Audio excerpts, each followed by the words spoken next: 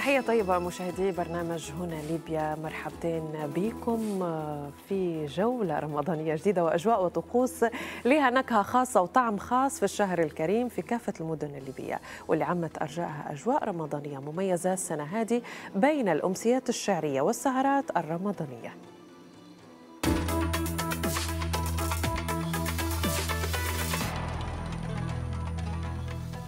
نبدأ أولى جولات أجواء رمضان من قلب المدينة القديمة في طرابلس. وين؟ تعيش أو تعيش أروقتها. وقع أجواء الاحتفالية منذ بداية الشهر الكريم حلة رمضانية وكان للموروث والفكر فيها نصيب كبير. ليالي جعلت الموسم الثقافي في ليبيا مميز على جميع الأصعدة وبمختلف الفعاليات. ليلة الفن والثقافة كان السرد الشعبي حاضر فيها من خلال ندوة حول أهميته عبر العصور. أصوله وكيف تطبع بالمجتمع الليبي وثقافته المحلية. نتابع أجواء ندوة في هذا المقطع.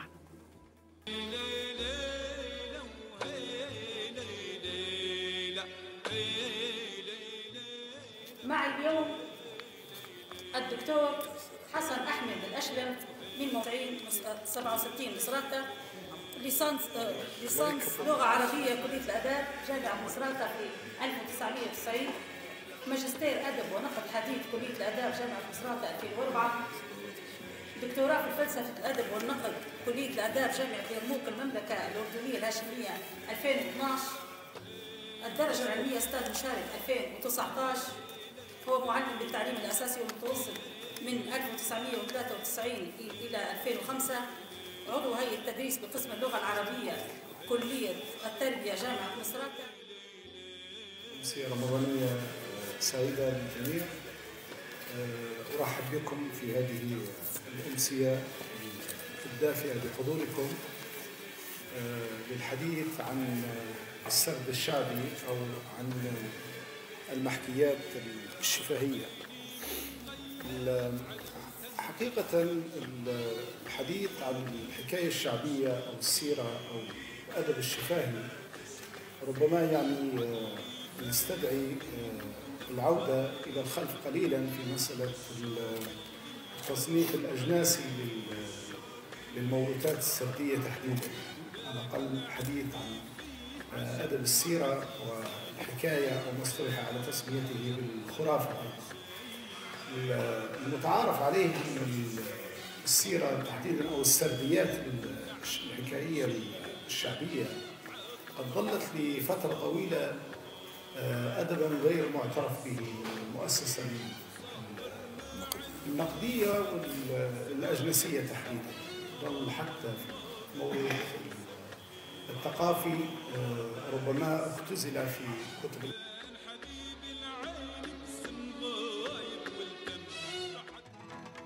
تحت إشراف الهيئة العامة للسينما والخيال والمسرح والفنون. مكتب المرج أقيمت أمسية شعرية على شرف الشاعر القدير عبد العظيم محمد بقيقة رائد من رواد الشعر المحكي في ليبيا. احتفى بأشعاره نخبة من المثقفين والمسرحيين ومحبي الشعر في مدينة المرج في أمسية شعرية رائعة. نقل لنا أجواءها مراسلنا من المرج محمد الحاسي.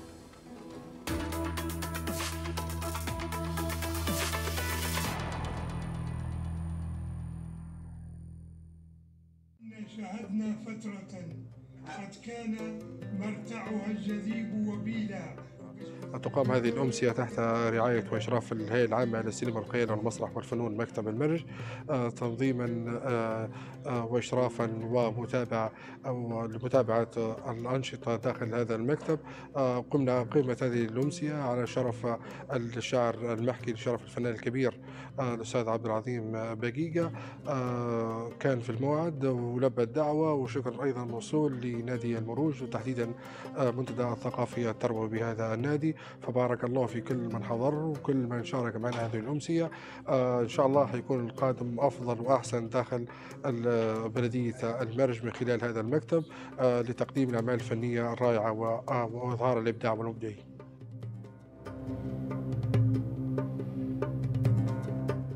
يعتبر من رواد الشعر المحكي. إذا كان ذكرنا الشعر المحكي في ليبيا حنذكر محمد الدنقلي وحنذكر عبد العظيم بقيقة.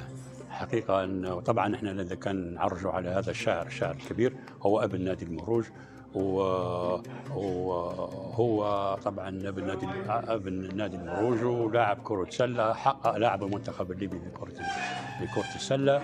آه، نشكركم على التغطيه ونشكر أيضا آه، الهيئة العامة للخيالة والمصلحة والفنون فرع المرج تعاون مع تعاون معنا في سبيل إنجاح هذه الأمسية الطيبة. إني أطلت وعذري يا سادتي إن الكثير عن المروج قليل حقيقة أمسية جميلة ولما أجمل في هذه الأيام المباركة التي قام بها مشكورا نادي المروج مع الهيئة العامة للمسرح والفنون بتكريمي في هذه الأمسية في أمسية شعرية. أتمنى أن ينال ما أقدمه إعجاب جميع الحاضرين ورضاهم. كما أتمنى أن تتكرر مثل هذه الأمسيات واللقاءات حتى تكون ترجمة صادقة فعلية على أن الأندية جميعا أندية ثقافية اجتماعية إلى جانب أندية رياضية.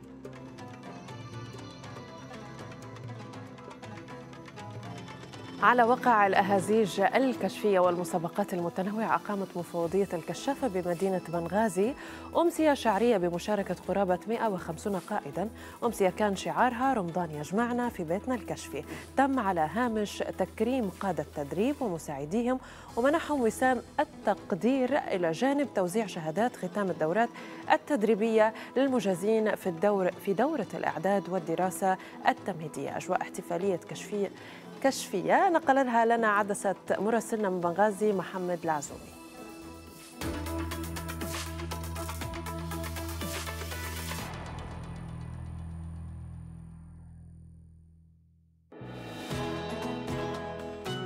طارق زيتني مفوض عام كشاف بنغازي.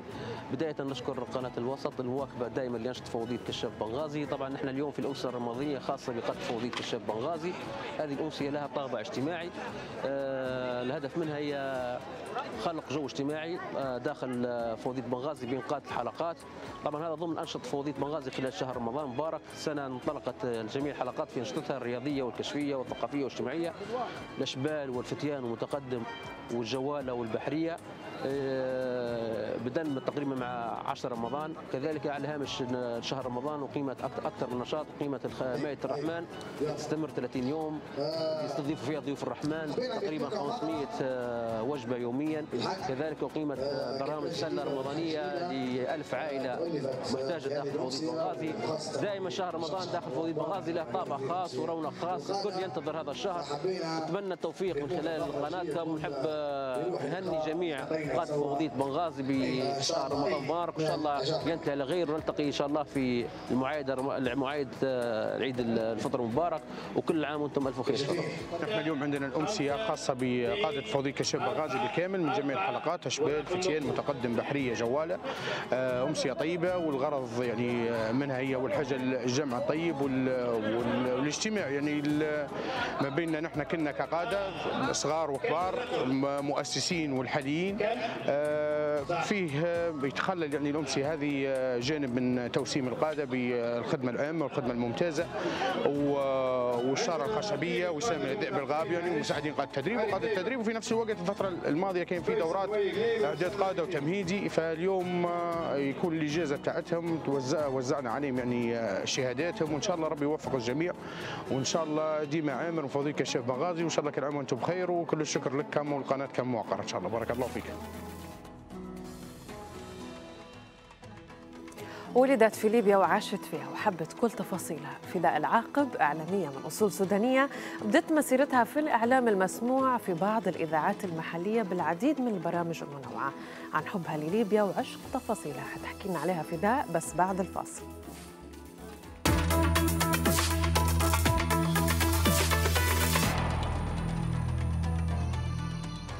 أهلا بكم من جديد. أيام الدار جنب الدار والجار للجار وحواشنا يلم الكبار والصغار. الدويرة واسعة والقلوب أوسع. ما فيش بيننا حيوط وسكر قهوتنا ديما مزبوط. هيك تختار فداء العاقب تقديم سلسلتها حوشنا الأرض الزمني. على الفيسبوك بطريقة تراثية تعكس جزء من تقاليدنا وأسلوب الحياة التقليدي في البيوت الليبية. قصة الرحاة وكيف نديروا الزميطة وطريقة إعداد لفتات الجبالي هي مواضيع تقدمها لنا فداء العاقب بطريقتها لخصناها في هالتقرير.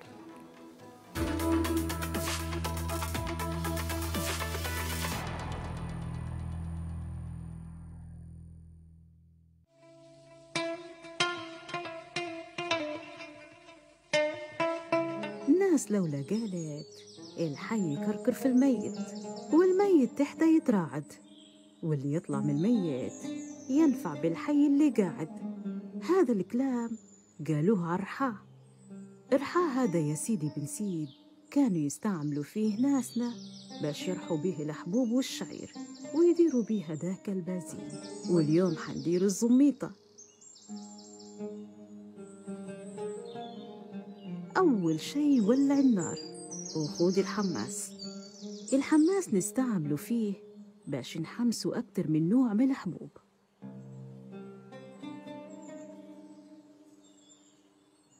خود الشعير ورشي عليه الملح وحمسيه على النار كويس.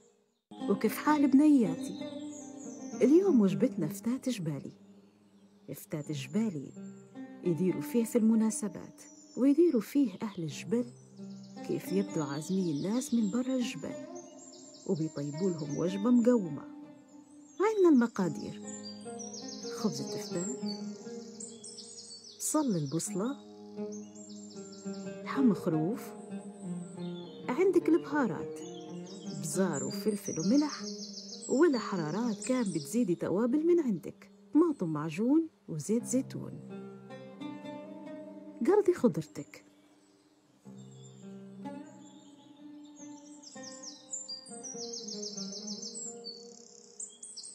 صباح الخيرات يومكم طيب. الله يبارك على هالنسمة الطيبة والجو الزين زي قلوبكم الزينة. يقولوا الناس لولا خير اللباس مستر وخير الوكال محضر. يعني كان لبسك ساترك ولقمتك بين يدياتك قول الحمد لله لأنك بخير ومش ناقصك شيء.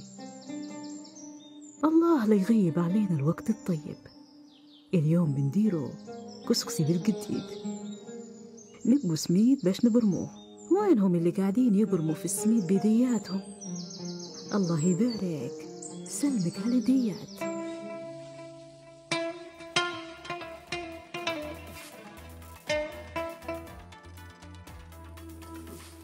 للحديث أكثر مشاهدينا تنضم إلينا عبر سكايب باش تحكي لنا عن التراث الليبي بشكل عام وتحديدا في مدينة الزاوية العالمية فداء العاقب. مرحبتين بيك.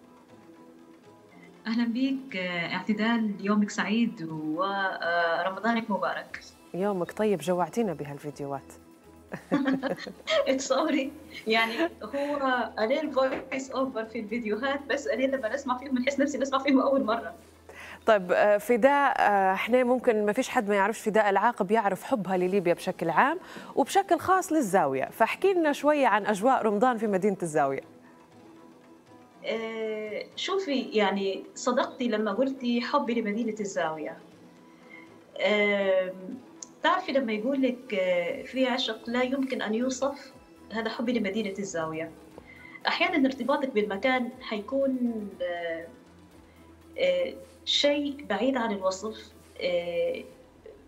أنا لما نخش لمدينة الزاوية يعني لما نطلع منها ونروح مجرد ما نخش لجداي ونلقى هذيك النسمة نحس بشيء من الأمان. المدينة هذه تمنحك قدر من الأمان غير عادي. ارتباطي بالأرض وبالتراب وبثقافتها وبروحها. الحب شيء غير مرئي ولكنه هو ملموس. صحيح. إضافة إلى ذلك أو محسوس خلينا نقوله. إضافة إلى ذلك البيئة اللي في مدينة الزاوية هي بيئة ذات خصوصية. اليوم لما طلعت أنا المذيعة في ذا العاقب هذا مش غريب عن البيئة اللي أنا تربيت فيها.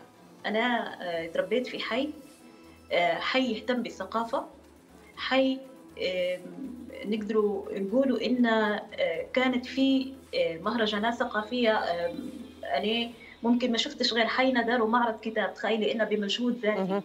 في بلد فيه شكوى من القراءة والاطلاع. ما كانتش مكتبة آه، أحمد جنابة بعيدة عني عن بيتي وأني صغيرة. وكانت هذه المنتدى اللي أنا نمشي لها باش نغير فيه جو. آه، هذا إلى جانب أن مدينة الزاوية من المدن اللي تلقي فيها مزيج ثقافي سواء كان مزيج من عدد من المدن اللي هم آه، عاشوا في المدينة هذه لأن هي بطبيعة الحال هي مدينة وفيها التحضر وفيها المزيج الثقافي تلقي فيها اللي هو من الجبل واللي هو أصولة مثلا آه، من الجنوب واللي هو أصولة من الشرق متواجدين ومتعايشين في هذه المدينة إضافة إلى ذلك الجنسيات العربية اللي عاشت في مدينة الزاوية. يعني آه، أنا في طفولتي عشت مع الفلسطيني وعشت مع المصري وعشت مع المغربي وعشت مع الهندي وعشت مع الباكستاني وعشت مع العراقي كل ما. يخطر في بالك هو موجود في مدينة الزاوية وتربيت في حي يعني الناس لما تحكي عن العنصرية أنا في حياتي ما ما شفتها في حينا تحديدا. أنا بنتهم طيب وهذا بيتي. طيب فداء بما إن حبك اللي وصلنا بشكل كبير بصراحة لهالحي ولهالمنطقة احكي لنا عن أجواء الرمضانية شنو الأكلات اللي متميزة فيها آه. بالنسبة لشهر رمضان آه، مدينة الزاوية ما تختلفش عن المدن الساحلية اللي. فيها آه، السهرات آه، واللمات العائلية وسهر لساعات طويلة في الليل آه، الشباب والدوريات. ممكن في بعض الصور غابت عن مدينة الزاوية كنا نشوفوها وإحنا صغار. مثلا زمان اللي كنت لما نطلع ونشوف الشيابين في الشارع وهم يلعبوا في الخربقة مثلا. آه، هذا مشهد تو ما عادش فيه في مدينة الزاوية وممكن في هذا المدن ربما كان موجود في القرى. زي ما قلت لك يعني هي طبيعتها طبيعة متمدنة. اللهم إلا ال- الأطراف. آه، بس ال- ال- السفرة ال- الليبية آه، في مدينة الزاوية. أو الزاوية تلقي فيها يعني الأصناف الليبية المتعارف عليها آه، الكسكسي البيتزا ال- العصبان. التفاصيل اللي هي معروفة عند الشعب الليبي. ممكن إحنا آه، في المنطقة ال- الغربية مثلا في الجبل تلقي الفتات إحنا ما عندناش في مدينة الزاوية. نعم. مش ضمن قائمة المأكولات الشعبية اللي هي موجودة في في مدينة الزاوية. مثلا تمشي للصبرات وصرمان تلقي المرفوسة. إحنا ما عندناش. ولكن آه، تبقى التفاصيل النكهة الزاوية في آه، في في لماتها وفي سهراتها. والعيلة والكناين اللي هم ينتموا في الليل.